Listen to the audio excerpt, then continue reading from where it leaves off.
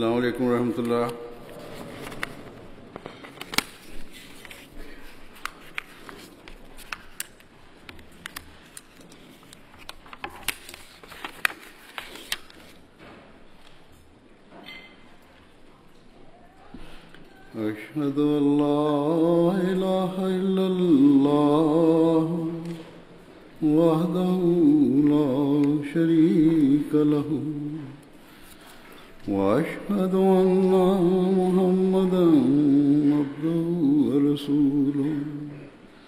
أما بعد فأعوذ بالله من الشيطان الرجيم بسم الله الرحمن الرحيم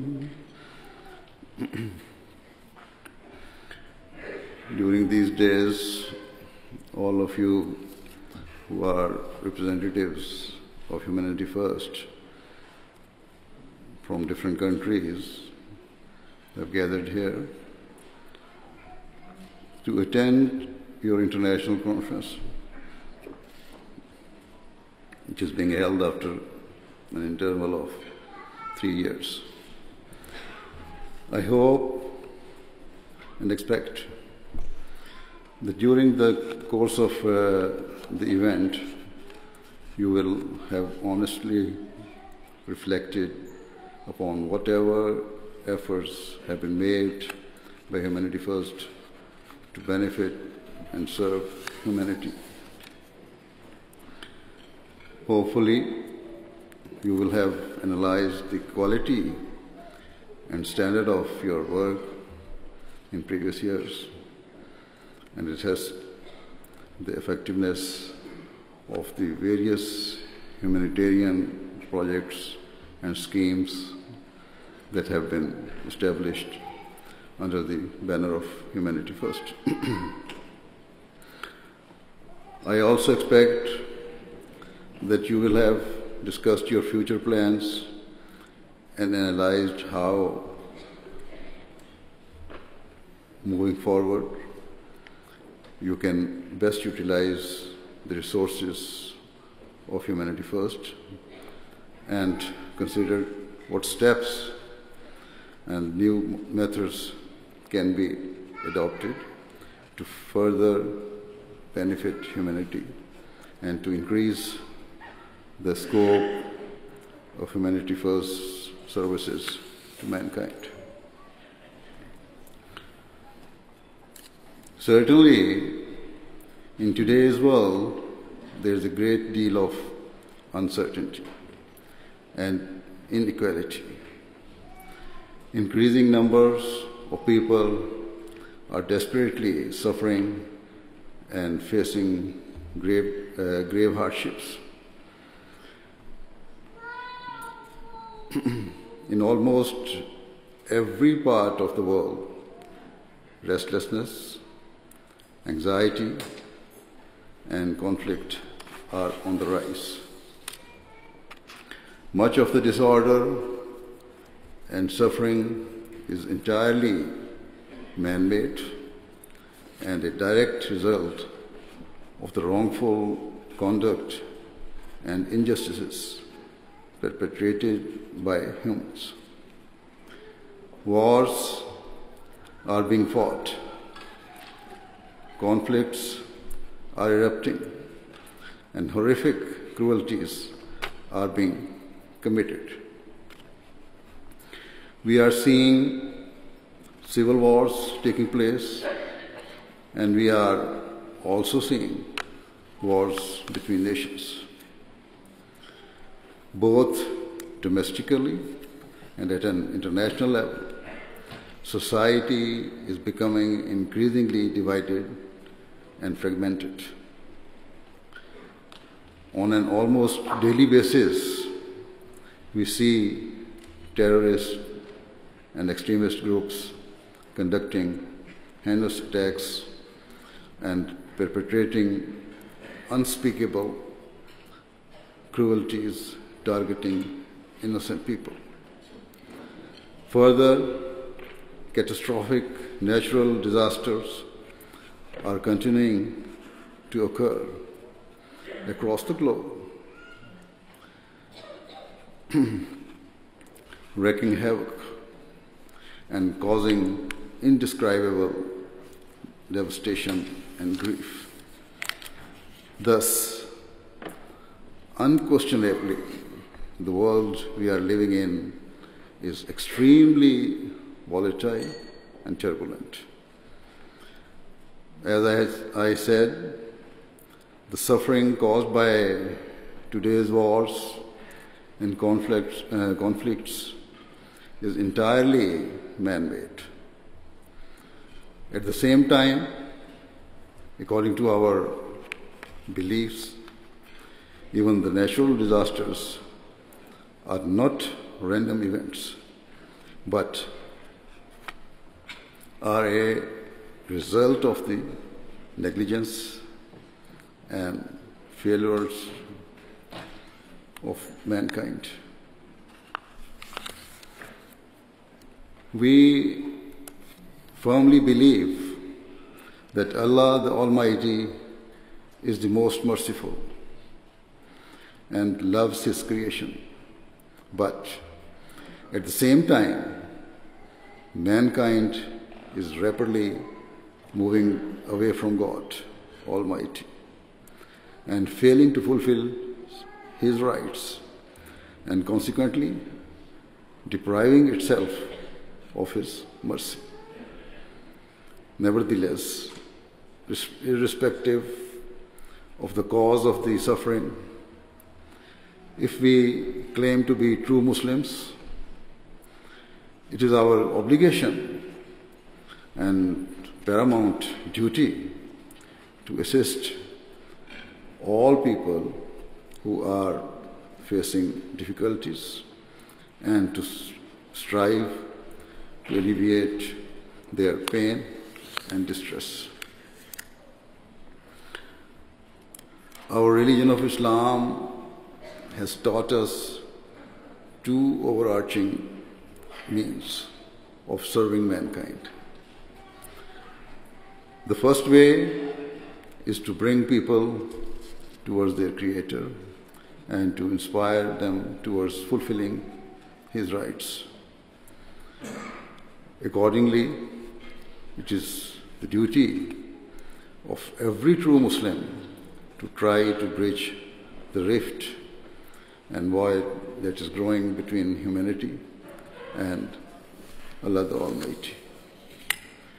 The second primary means of serving mankind is to help people in their time of need and to utilize whatever resources are available in order to bring ease and comfort to those who are deprived or facing uh, trials and tribulations. Indeed, it was to fulfill these two principles, uh, principal objectives, that Allah the Almighty sent the Promised Messiah Islam in servitude to the Holy Prophet of Islam and establish the Ahmadiyya Muslim community. With the grace and mercy of Allah, since its inception, our Jamaat has continued to strive towards fulfilling these two fundamental goals and under the guidance of Khilafat Ahmadiyya will continue to do so inshallah. Of course, Humanity First was established in order to fulfill the second objective of the Promised Messiah's advent. Hence, the sole ambition and aspiration of humanity first should always be to alleviate the physical and mental suffering of mankind. As an organization, the core duty of Humanity First is to fully utilize its resources and capabilities and skills of those of uh, those who serve it to help the deprived and uh, who, the, the deprived and the destitute. Wherever people are facing material suffering and deprivation of any kind, humanity first should seek to be at the forefront of providing aid and assistance. No matter where in the world or which communities they hail from. Humanity first should seek to provide relief to those mired in poverty and hardship. This is your mission. This is your duty. This is your faith. Always remember that the founder of the Ahmadiyya Muslim community, the Promised Messiah Islam, directed the members of the Jamaat on countless occasions towards serving others and towards fulfilling the needs and rights of mankind. On one occasion, the Promised Messiah Islam said, Allah the Almighty repeatedly commands that irrespective of religion or ethnicity, you should show love and compassion to all people. Says, Allah commands us to feed the hungry, free those shackled in bondage, pay off the arrears of those mired in debt, shoulder the burdens of others, and fulfill the rights of sincere love owed to mankind.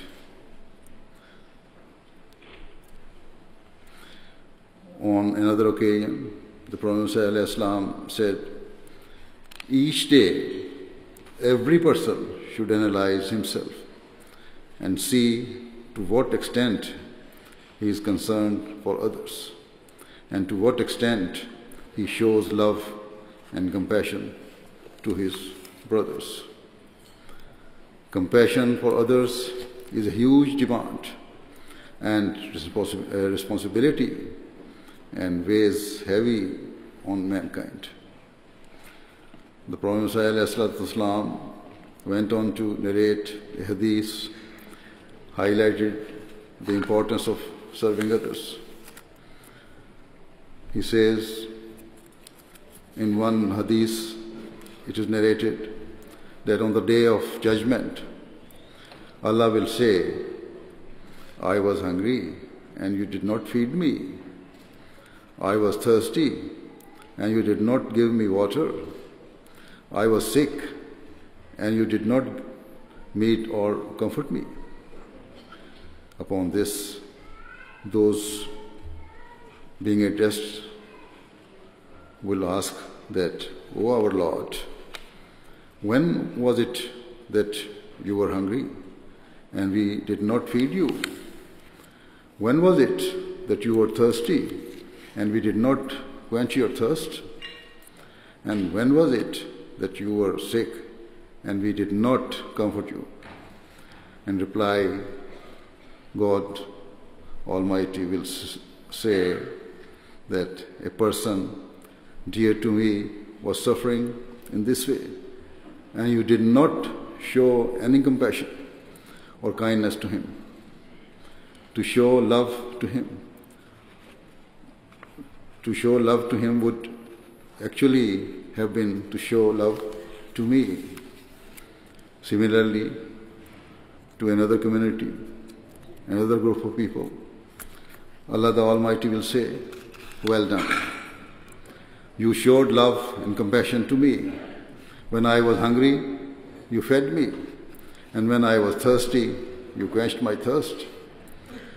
The members of the commun- that community will then ask, O our Lord, when did we serve you in this way? We do not know ourselves.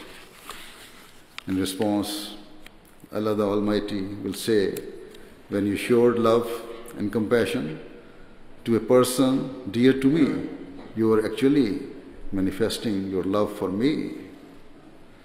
Thus, to love Allah's creation is something, Prophet says, thus, to love Allah's creation is something truly great and deeply appreciated by Allah the Almighty. Hence, as a Jamaat, we have always strived to fulfill our duty of serving others for the sake of Allah the Almighty. And we are doing this in different ways and through various means, according to our abilities. We seek to feed those who are hungry. We seek to give water to those who are thirsty. And we seek to care for those who are sick or suffering in any way and to provide them with suitable treatment, as you have already seen in your, some of the uh, short footage. Thus, all of you who are serving the humanity first, humanity first, must remember that this is your purpose, and so with great devotion, you should um, expend your energies for the sake of this blessed cause. Certainly, it was to fulfill this objective of serving others selflessly for which Humanity First was established. This is what sets out, apart from other organizations, is, uh, is what sets you apart from other organizations because you are not serving in humanity first only due to your good nature or as a worldly duty, rather, your service is actually a demand and calling of your faith. As I have explained, serving humanity is a fundamental tenet of Islam. Islam requires us to bandage the wounds of those in pain, to remove the anxieties of those who are distressed, and to show love and compassion without any desire for recognition or worldly reward. Thus, wherever any person is suffering or facing cruelty, it is your duty to be there to help and support them. Always try to increase your output and never become lazy or satisfied with your past achievements. Instead, your targets should always be to elevate the standards of uh, care provided by Humanity First through increased service and by helping as many people as possible. I, as I said before, the conduct of mankind has played a direct role in causing the wars and conflicts of today. And it has also led to the natural disasters that have taken place.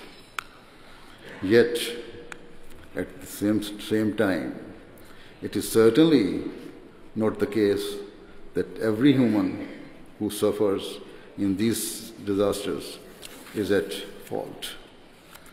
Rather, it is part of nature that when uh, catastrophes or, uh, or uh, tragedies occur, even the innocent and blameless are affected. Hence, at all times, we should utilize our capabilities and skills to the very maximum in order to remove the hardships of such innocent people and to comfort those stricken by grief. We should be there to wipe away the tears of those who have been left bereft, uh, heartbroken, and vulnerable. We should be there to give hope to those who were previously hopeless. Anyway, in terms of disaster relief, with the grace of Allah, in response to many natural disasters in recent years, Humanity First has sent their teams to provide food, water, shelter, and other forms of aid, as we have already seen in the small, small uh, some in some videos shown here. Similarly, you have now started to reach and serve in certain war-torn areas. Furthermore, you are providing education to children by building schools or furnishing existing ones with necessary equipment. You are also providing health care through the establishment of hospitals or medical camps. Particularly in Africa, you have done some excellent work in order to serve humanity. May Allah the Almighty bless the effort of those who have contributed to this effort. Similarly, in Pakistan, in Tharparkar, you have endeavored to provide the local village people with clean drinking water. May Allah reward you for this. But here, I would like to ask, I would, I would like to say something that the, the, the small film shown with regards to the digging of wells and providing food in Tharparkar area, too much music was involved in that film. Our when we prepare such type of documentaries, it should be without any music. So why I'm saying this is that other organizations or the humanity first in other countries should not take advantage of this. It is not permissible. Uh, it was better, it would have been better if they had included some poems and humming of the poems. Anyway, now I go further. In Guatemala, Humanity First USA has built the Nasir Hospital, which is now close to completion. However, do not think that the construction is the end. Rather, it is only the end of the beginning. Now you will need to acquire doctors, nurses, and other staff to ensure that the hospital does not become a white elephant but comes to fulfill its mandate and mission to serve the local people by providing high quality health care to them. Therefore, Humanity First must take a proper plan, uh, must make a proper plan to ensure that the hospital proves sustainable and a means of serving humanity in the best possible way. May Allah the Almighty bless all of your current and future projects and enable you to execute the good plans that you have made. I pray that all of you take your responsibilities seriously and inculcate a true spirit of sincerity, humility, and dedication within yourselves. Most importantly, you should always keep in mind that whatever opportunities you have to serve are due to the blessings and favors of Allah the Almighty. And because you are following the true teachings of Islam as taught to us by the uh, Holy Prophet of Islam and then by the Prophet Islam. Any opportunity you have been afforded are due to your being a part of this Jamaat. Furthermore, any success of Humanity First is not due to the personal qualities of any of the chairman or directors, nor is due to the nor is it due to the capabilities of any individual. Rather, it is due certainly um, um, entirely to the grace of God the Almighty and the favors which He has bestowed on the followers of the Prophet Islam.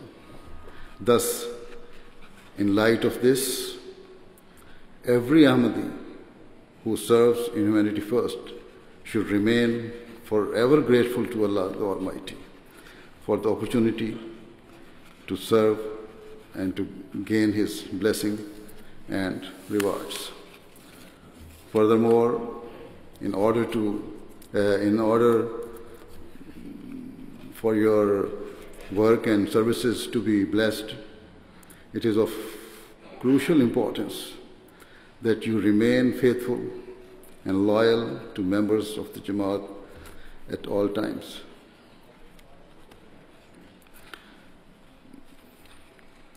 Um, faithful and loyal members of the Jamaat at all times. Otherwise, your efforts will prove fruitless and you will be like any other worldly organization.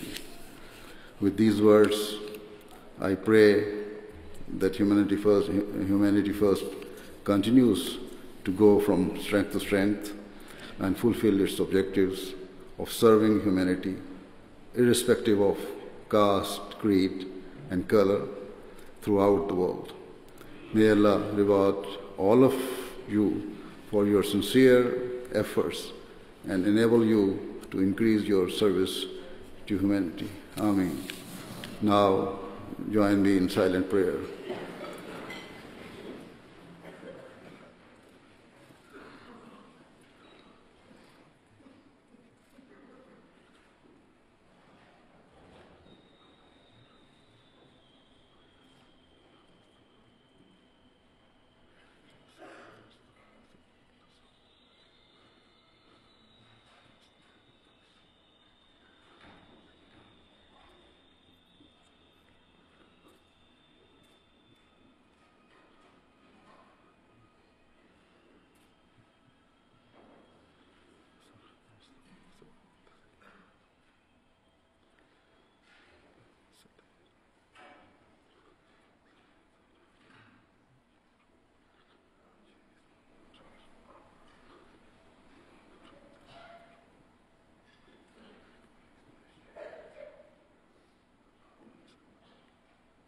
I mean,